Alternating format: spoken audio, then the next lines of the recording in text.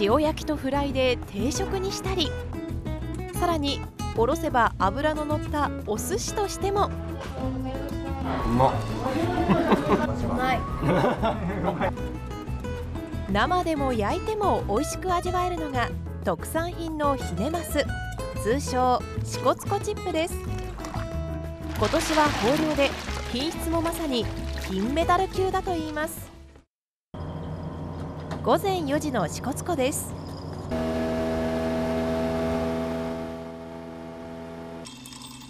釣っているのは支笏湖漁業協同組合の小林則之さんです。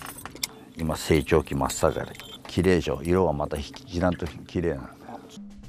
色鮮やかな支笏湖ブルーの湖から傷がつかないように1匹ずつ手で釣り上げますヒメマスはアイヌ語で薄い魚を意味するカパッチェプと呼ばれそれがなまりチップと言われるようになりました。釣ったチップは湖畔にある小林さんが経営する飲食店へ塩焼きやフライにして贅沢に定食として提供しています。店では地元の人や外国人観光客もチップを堪能。チップを食べに来ました。毎年来てるので、すごく美味しいです美味しい。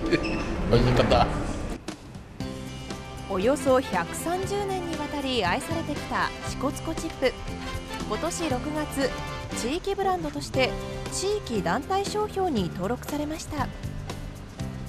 地域がやっぱり一丸となってあの申請してきた中でやっと通ったんでこれでまた、ね、一つの支笏湖のブランドとしてどんどん発信していければ本当にいいことだなと思ってチップは全国各地の物産展でも出品されているほか地元千歳市内では回転寿司店にも。支笏湖チップありがとうございますこれまで主に支笏湖周辺で提供されてきたチップは今年初めて地元の回転寿司店にも出荷されました。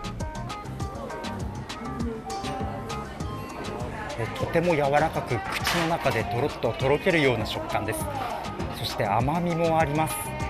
サーモンに近い味ですが、えー、癖もなく非常に食べやすいです。